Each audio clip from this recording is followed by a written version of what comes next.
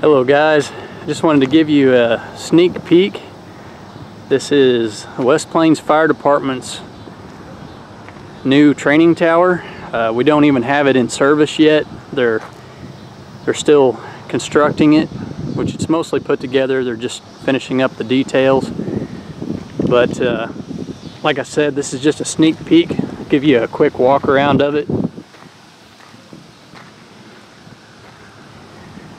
It has just about every type of training that you need for firefighter 1 and 2 level training and then advanced training for uh, rope rescue and that type of thing. That's what the, the, tallest part of the tower is actually for along with uh, confined space but but there's a little bit of a little bit of every type of training that we can do including live burns with uh, gas props and class A burns so there are several different uh, breaching props, ventilation, of course, you know, roof ventilation, horizontal and vertical ventilation, um, just a whole plethora of training types that we can do.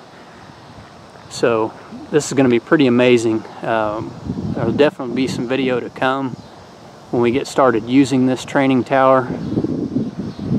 I'm not I'm not going to go inside. Like I said, they're they're not finished, but I just wanted to give you guys a, a sneak peek of what it looks like.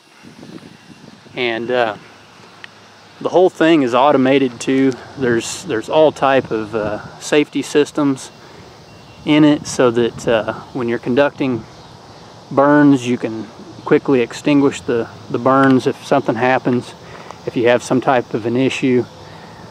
But uh, I mean, this thing's just amazing. Just looking at it, you know, we've we've been over the blueprints. We actually had a an entire training night where we just talked about the different functions and features. But uh, that's all I can say is this is going to be pretty amazing training. And as you can see, it's it's pretty impressive.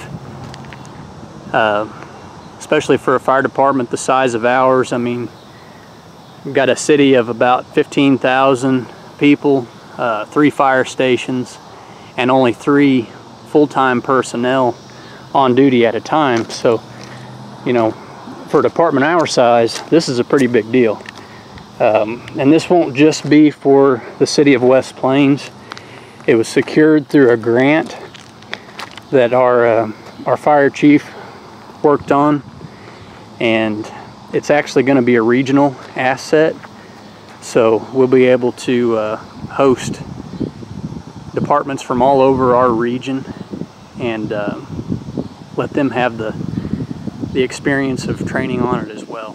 So like I said this is just a sneak peek and as soon as I get a, an opportunity we'll definitely get some interior footage. Probably gonna have to dig out my uh, fire helmet camera again and uh, get some interior burn footage. So, as always, thanks for watching, guys.